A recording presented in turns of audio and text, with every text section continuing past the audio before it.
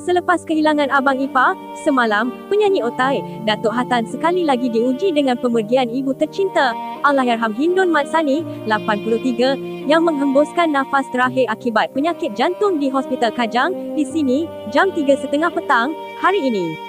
Kali terakhir saya bertemu dengan arwah, ketika majlis pengebumian arwah Abang Ipa, semalam.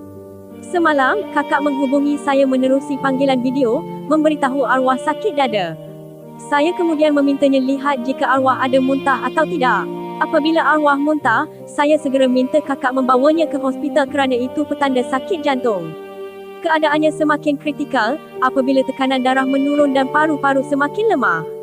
Seharian kami menunggu kerana perlu melalui pelbagai prosedur operasi standard SOP hospital sebelum dibenarkan melawatnya. Namun, doktor memaklumkan arwah sudah tiada, tidak lama kemudian, katanya kepada BH Online sambil menangis. Ketika ini, pihak hospital sedang menjalankan ujian saringan, bagi memastikan arwah bebas dari jangkitan COVID-19. Urusan mandi, kafan dan solat jenazah akan dilakukan di kampung. Insya Allah, jika sempat, jenazah akan disemadikan, malam ini.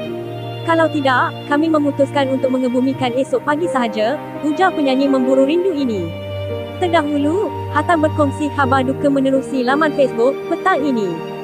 Bonda tercinta saya pergi menemui penciptanya. Ya Allah, ampunkanlah bondaku ya Allah tulisnya. Perkongsian itu turut mendapat simpati daripada rakan artis dan peminat sambil mendoakan Hatan tabah menghadapi ujian.